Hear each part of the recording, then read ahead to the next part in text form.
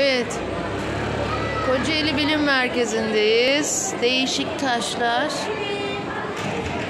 Balıkesir'in,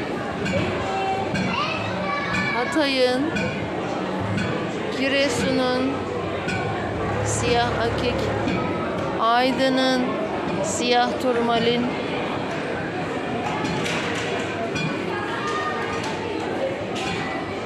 Kanada'nın Labrador taşı, Giresun Tirebolu'nun gleniti, Aydın Karacasu'nun dumanlı kuvarsı, Amatist Balıkesir'in değişik taşı,